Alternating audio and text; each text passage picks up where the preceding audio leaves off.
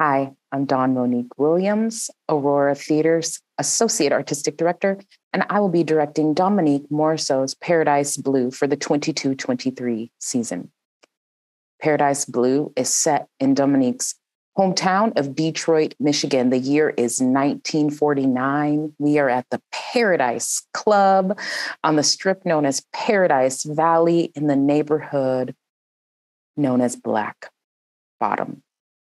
The residents there are facing new tensions as the mayor is on the move to rid the city of urban blight. And so urban renewal and contractors and development is encroaching.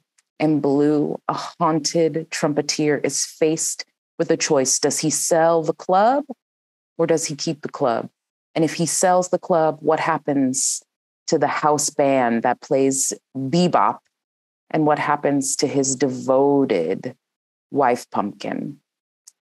There's so many rich textures to this play. There's the bebop music, there's the haunted spirits and all of these characters. There's a mysterious woman, Silver, who arrives at the club and disrupts everyone's life, teaching Pumpkin some valuable lessons along the way.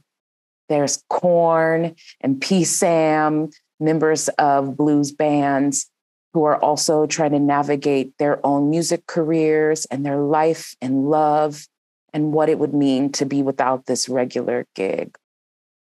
Morisseau has written Paradise Blue as part of the Detroit Project, a trilogy of three plays set across different times in her home to explore the evolution, the change, the growth of Detroit I love that Morisseau writes about home.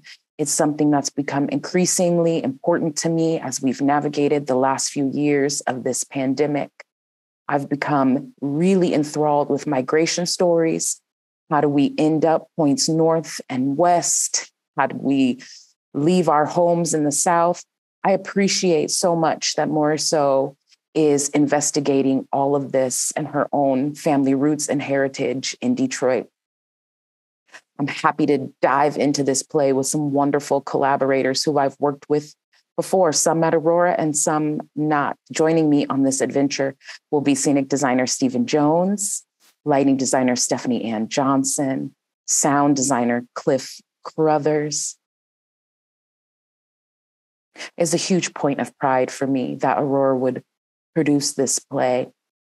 As you know, if you've been a long time Aurora subscriber, um, we did Detroit 67 not too long ago to great acclaim.